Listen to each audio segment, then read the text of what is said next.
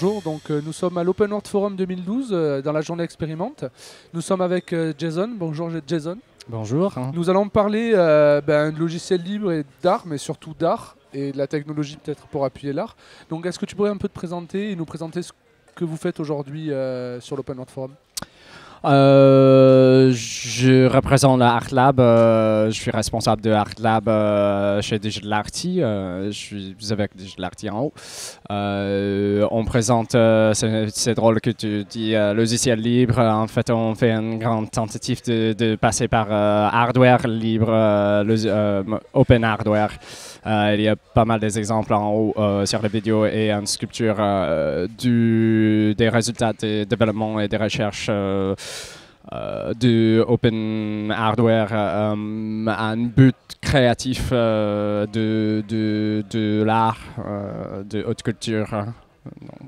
Très bien. Oui, parce que là, l'art, l'art, la technologie sur le coup, c'est juste un appui, mais on parle bien d'art. C'est ça, le premier objet de ce que vous faites, c'est créer des œuvres sur lesquelles la technologie est un support.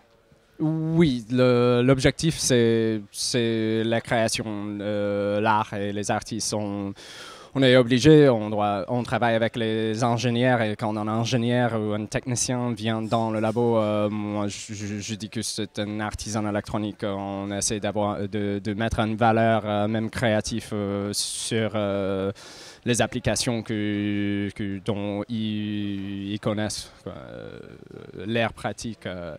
Euh, mais il vient pas juste pour faire un job, euh, mais il vient aussi de, communiquer avec les artistes. Moi, en tant que responsable, je fais ces ponts entre les artistes et les techniciens parce que je communique les deux langues. Très bien. Et donc, euh, sur ton bras, c'est pas une extension de ton corps, c'est mm, une hein. œuvre. Oui.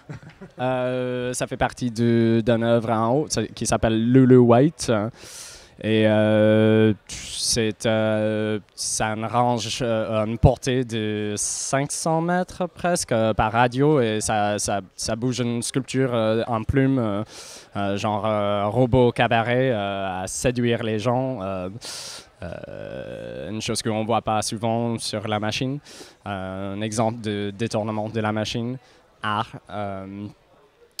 Euh, il y a des capteurs de flexion là pour chaque plume. Euh, et puis, un gyroscope, accéléromètre et une boussole sur le bras pour bouger des axes et interagir avec les gens.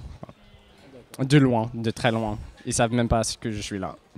Je me suis fait avoir, je confirme, que je cherchais les capteurs sur sur l'œuvre, mais en fait c'était toi qui étais derrière euh, pour le faire. Oui.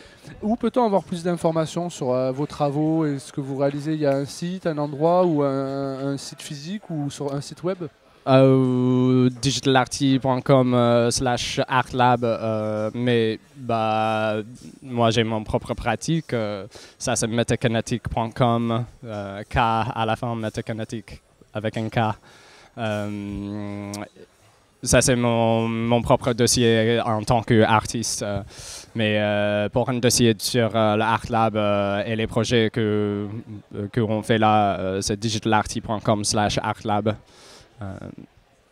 Ben, très bien, merci Jason et à bientôt. à bientôt. À bientôt.